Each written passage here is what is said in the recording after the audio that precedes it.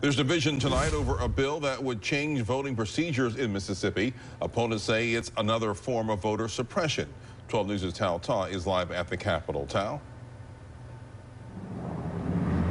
Well, Byron, the disagreement over a bill designed to Cleanup voter rolls falls mainly along party lines. Now, the bills would give election commissioners the green light to remove the name of a person who fails to vote at least once during a period of four consecutive years. Now, it would also apply if a voter fails to respond to certified mail from the election commission. It's a change from the current law, which allows voters to be purged if they die, move away, or are judged mentally incompetent. Now, Lieutenant Governor Delbert Hosemann supports the voter roll purge in an effort to maintain accurate voter rolls in Mississippi get those voter rolls right, I think it's very important. I think it's important to the state, and quite frankly, I think it's important to the country.